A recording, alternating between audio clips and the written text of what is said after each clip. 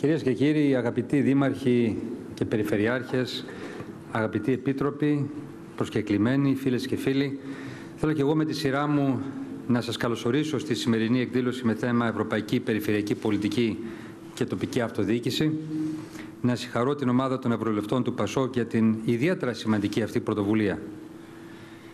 Κάναμε ένα πρώτο αλλά τεράστιο επαναστατικό, θα έλεγα, βήμα και στο ζήτημα αυτό του Καλλικράτη, όπως και σε πολλά άλλα, η χώρα μας σημείωσε επί χρόνια, επί δεκαετίες, τεράστια καθυστέρηση. Με αποτέλεσμα να είμαστε μία από τις πιο συγκεντρωτικές, αν όχι η πιο συγκεντρωτική χώρα διοικητικά της Ευρώπης. Είναι γνωστό ότι πολλές ευρωπαϊκές χώρες είναι οργανωμένες εδώ και δεκαετίες με επίκεντρο τις τοπικές του κοινωνίες. Έχουν αποκτήσει όριμους αυτοδιοικητικούς θεσμούς, θεσμούς που παίζουν ρόλο καθοριστικό στη δημόσια ζωή της χώρας, στην ανάπτυξη, στην πρόνοια, στην κοινωνική προστασία, σε υπηρεσίες για τον πολίτη.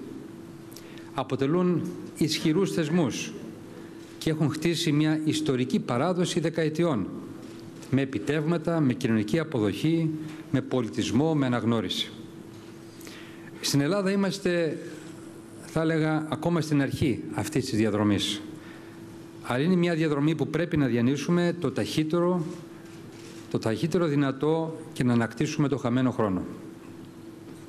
Πράγματι, οι εκδηλώσεις αυτές είναι σημαντικές και για τα ερεθίσματα, αλλά και για να αξιοποιήσουμε εμπειρίες, καλύτερες πρακτικές και μεταξύ των ευρωπαϊκών εταίρων μας και θεσμών, αλλά και βεβαίως και μεταξύ μας. Γιατί υπάρχουν και πολλά ενδιαφέροντα παραδείγματα από την αυτοδιοίκηση ήδη να αξιοποιήσουμε με αυτόν τον τρόπο και τα συγκριτικά μας πλεονεκτήματα. Δεν είναι καθόλου τυχαίο ότι η αναπτυξιακή πολιτική της Ευρωπαϊκής Ένωσης, αυτό που ονομάζουμε συχνά πολιτική συνοχής, είναι εδώ και δεκαετίες προσανατολισμένη και διαρθρωμένη σε περιφερειακό επίπεδο. Γι' αυτό και ονομάζεται και περιφερειακή πολιτική.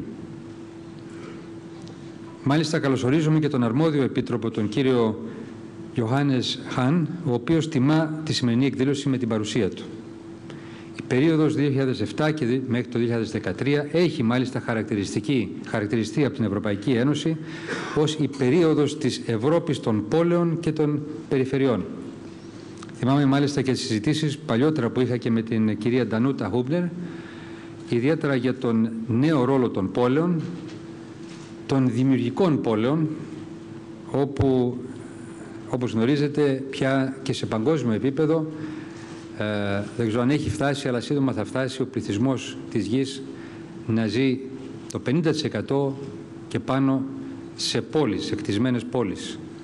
Αυτή είναι μια ιστορική καμπή, δείχνει τη σημασία της πόλης αλλά και των αναγκών και των νέων πολιτικών που πρέπει να διαμορφώσουμε. Σήμερα δεν υπάρχουν πετυχημένες και δυναμικές περιφέρειες στην Ευρώπη που να μην έχουν στον πυρήνα τους δυναμικές πόλεις, αλλά ούτε και πετυχημένες πόλεις να υφίστανται μακριά από καινοτόμες περιφέρειες. Και ας μην ξεχνάμε ότι η ανάπτυξη είναι σήμερα το μεγάλο ζητούμενο στην Ευρώπη. Γιατί από τη σημερινή κρίση που βιώνουν οι λαοί της Ευρώπης δεν θα βγούμε μόνο με τις πολιτικές περιστολής της πατάλης, του δημόσιου χρήματος, όσο και αν προσπαθήσουμε να περιορίσουμε τα ελλείμματα, ο αγώνας αυτός θα είναι μάταιος αν δεν καταφέρουμε παράλληλα να δώσουμε μια νέα αναπτυξιακή δυναμική στην Ευρώπη. Αυτή είναι μια συζήτηση που είναι σε εξέλιξη σε όλη την Ευρώπη σήμερα. Όλο και περισσότερες φωνές ακούγονται σήμερα που υποστηρίζουν αυτή τη θέση και έχουμε και εμείς καταθέσει ως χώρα προτάσεις για μεγάλες αναπτυξιακές πρωτοβουλίες στην Ευρώπη που θα συνδέσουν συγκοινωνιακά αλλά και ευρυζωνικά χώρες όπως είναι της κεντρικής, ανατολικής ε, ε, Ευρώπης, νότιας Ευρώπης με την υπόλοιπη Δυτική Ευρώπη και Βόρεια Ευρώπη, υποδομές απαραίτητες, υποδομές που θα συμβάλλουν στην ε, μετα...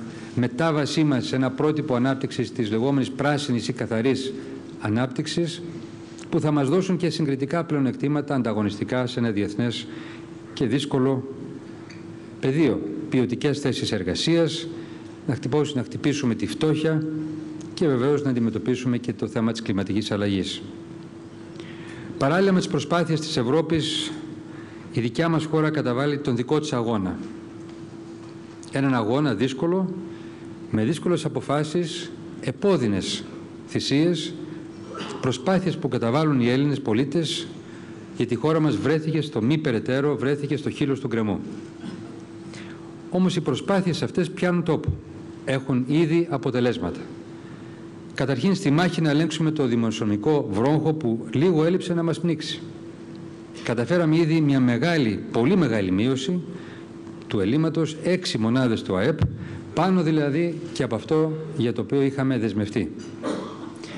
Δρομολογήσαμε και ολοκληρώσαμε και μερικές από αυτές διαρθωτικές αλλαγές όπως το ασφαλιστικό, ώστε να είναι ένα βιώσιμο σύστημα, στα κλειστά επαγγέλματα, στο κράτος, στη διαφάνεια, να βάλουμε βάσεις να βγει η χώρα μας βιώσιμα από την κρίση.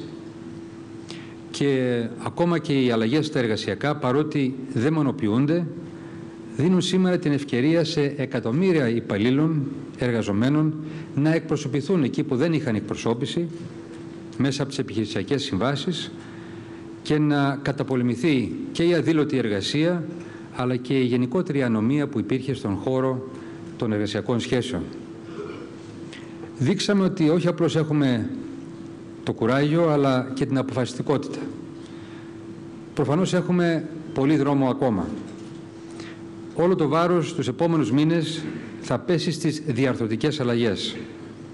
Με αυτές διορθώνουμε χρόνια προβλήματα, προβλήματα δεκαετιών, δεν περιοριζόμαστε στην απλή δημοσιονομική διαχείριση, γι' αυτό και δρομολογήσαμε μεγάλες αλλαγές στο ίδιο το κράτος, στην αυτοδιοίκηση, τη δικαιοσύνη για να, αποτελεί, να λειτουργεί αποτελεσματικά, στην καθιέρωση κανόνων διαφάνειας όπως τη λεγόμενη διάβια, στην μείωση της γραφειοκρατίας και την αναμόρφωση του συστήματος πρόνοιας. Η χώρα μας βρέθηκε στο μάτι του κυκλώνα λόγω μιας σειράς προβλημάτων τα πελώρια ελλείμματα και χρέη δεν ήταν παρά η κορυφή του παγόβουνου, αν θέλετε το αποτέλεσμα αυτών των προβλημάτων. Η δημοσιονομική κρίση ήταν αποτέλεσμα στρεβλώσεων μεταξύ των οποίων και μιας στρεβλής αναπτυξιακής λογικής που επικράτησε σε ένα συγκεντρωτικό, αδιαφανές, αργό, πελατειακό και πολυδάπανο κράτος.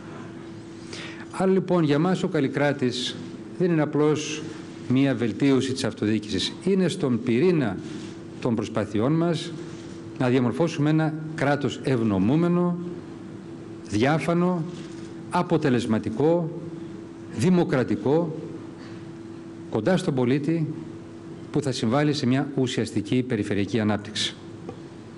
Θα αλλάξει τον τρόπο με τον οποίο αναπτύσσεται η χώρα.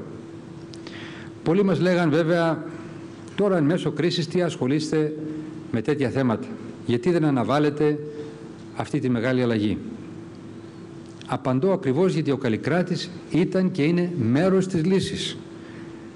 Είναι από μόνος του προϋπόθεση, όχι μόνο για να αρμονιστεί η Ελλάδα με ένα ευρωπαϊκό κεκτημένο της αυτοδιοίκησης, αλλά να αντιμετωπίσει και αποτελεσματικά διαρθρωτικές αδυναμίες που οδήγησαν στην κρίση και βλέπουμε μια μικρή αναδρομή να κάνει κανείς στην σημερινή δομή της αυτοδιοίκησης, ποια είναι τα προβλήματα που υπήρχαν. Μόλις 213 δήμοι από τους 1034 ΟΤΑ διέθεταν μέχρι πρότινος τη διαχειριστική επάρκεια για την υλοποίηση έργων του ΕΣΠΑ. 500 δήμοι της χώρας λειτουργούσαν με ανεπαρκές επιστημονικό προσωπικό δηλαδή σε πλήρη αδυναμία να υλοποιήσουν προγράμματα της Ευρωπαϊκής Ένωσης. Σχεδόν στους μισούς δήμους και κοινότητες δεν υπήρχε κανένας προληπτικός έλεγχος για δαπάνες που πραγματοποιούσαν, καμία εποπτεία στην πορεία ίσπραξης των εσόδων, καμία πρόβλεψη, κανένα όριο στο δανεισμό, μια κατάσταση που οδήγησε εκατοντάδες δήμους σε υπερχρέωση με συνέπεια επίσης και εδώ την διόγκωση του συνολικού χρέους της χώρας. Όπως έχω ξαναπεί, οι περισσότερες αυτοδιοικητικές μονάδες της χώρας ήταν μικρογραφίες δυστυχώς του ίδιου του κράτους. Σπατάλη, αδιαφάνεια, ανεπάρκεια στην εφαρμογή πολιτικών ήταν τα χαρακτηριστικά τους. Πώς να μην είναι μικρογραφία του κράτους όταν είχαν πελατειακή ουσιαστικά εξάρτηση από το κράτος. Με άλλα λόγια και η αυτοδιοίκηση βρισκόταν σε κρίση και ο Καλλικράτης πάει αυτό τον ομφάλιο λόρο για να δημορφώσει μια αυτοδιοίκηση που μπορεί να στέκεται στα δικά της πόδια. Δεν μπορούσε να ανταποκριθεί ούτε στην ευρωπαϊκή πρόκληση, ούτε στο ρόλο της τοπικής και περιφερειακής αυτοδιοίκησης, ούτε να βοηθήσει και στις μεγάλες αλλαγές που χρειαζόταν η χώρα, όπως είναι οι υποδομές, οι υπηρεσίες στον πολίτη, αλλά αν θέλετε και σε άλλα θέματα όπως είναι η παιδεία και η αναπτυξιακή προσπάθεια. Γι' αυτό ήταν ένα από τα σημαντικότερα θεσμικά βήματα που υλοποιήσαμε. Από 1034 διασπασμένους και αδύναμους δήμους πήγαμε σε συνενώσεις 325, σε 13 ερετές περιφέρειες, πετυχαίνουμε οικονομίες κλίμακας, μειώνονται δραστικά δαπάνες, αλλά δημιουργούνται και ισχυρές αυτοδιοικητικές και αυτόνομες μονάδες, ώστε να πάρετε, να πάρει κάθε περιφέρεια την τύχη των περιοχών στα χέρια σας ώστε να μπορείτε και να λογοδοτείτε και να υπάρχει διαφάνεια αλλά να υπάρχει και δυνατότητα και ρόλος ως ένα εργαλείο άσκησης για πολιτική. Ο μεγάλος όγκος αρμοδιοτήτων ταυτόχρονα μεταφέρεται από το κεντρικό κράτος στις νέες περιφέρειες και τους Δήμους. Στην ανάπτυξη, στο κράτος πρόνοιας, σε υπηρεσίες που αφορούν στην καθημερινή ζωή των πολιτών και των επιχειρήσεων. Όπως έπρεπε να γίνεται εδώ και χρόνια, η κάθε περιφέρεια θα μπορεί να κάνει το δικό της σχεδιασμό σε ένα ευρύ πεδίο δραστηριοτήτων, με βεβαιότητα να γνωρίζει, που, με τη βεβαιότητα ότι γνωρίζει η περιφέρεια και η αυτοδιοίκηση, η τοπική, πολύ καλύτερα τα προβλήματα κάθε περιοχής. Στίχημά μας μέσα από αυτή τη διαδικασία δεν είναι μόνο οι υπηρεσίες που θα προσφέρουμε, που και αυτό είναι σημαντικό στίχημα όπως στον τομέα της πρόνοιας, είναι να αλλάξουμε το παραγωγικό πρότυπο να αναπτύξουμε, να αξιοποιήσουμε τα συγκριτικά μας πλεονεκτήματα. Και δόξα τω Θεώ υπάρχουν πολλά. Δυστυχώς η πελατειακή λογική των δάνειων δυνάμεων μας ε, έβαλε στο να κοιτάμε όλοι προς το κέντρο πώς καλύτερα θα εξασφαλίσουμε κάποιο ποσό από κάποιο Υπουργείο ή κάποιο Υπουργό, κάποιο πρόγραμμα, αντί να δούμε δίπλα μας τι πλούτος υπήρχε, πώς θα τον καλλιεργήσουμε, πώς θα τον αναπτύξουμε ανθρώπινος, φυσικός, περιβαλλοντικός, τεχνολογικός, ιδιαίτερες ταυτότητες σε κάθε περιοχή.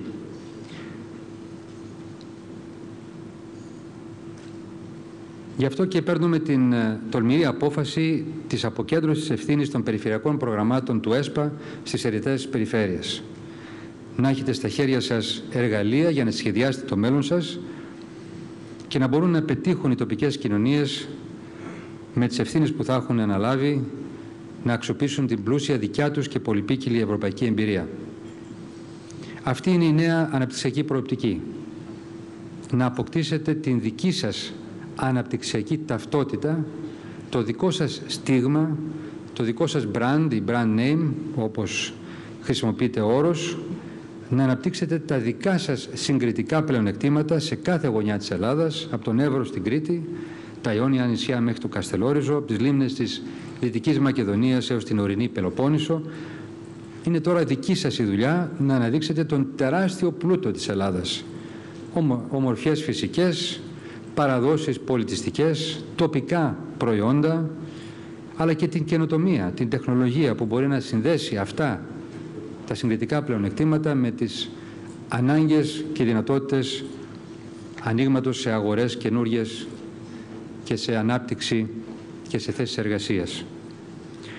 Εσείς μπορείτε πολύ καλύτερα να συνδέσετε τις τοπικές δυνάμεις οριζόντια, διότι μόνο κάθετα λειτουργούσαν η κάθε μία με κάποιο κέντρο στην Αθήνα ή αλλού. Ενώ υπάρχουν συνέργειες τεράστιες.